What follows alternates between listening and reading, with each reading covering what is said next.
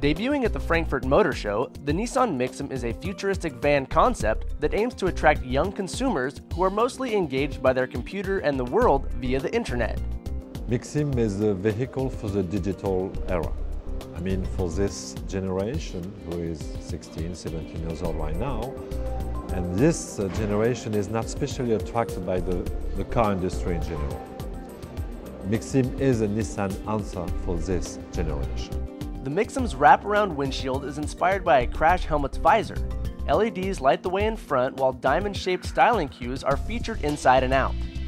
The driver sits centrally with two seats on either side, while the steering wheel and controls are inspired by the interfaces so familiar to computer gamers. When you sit behind the wheel of Mixim, you have the same attitude, the same atmosphere, the same posture uh, than when you sit behind a computer playing a video game.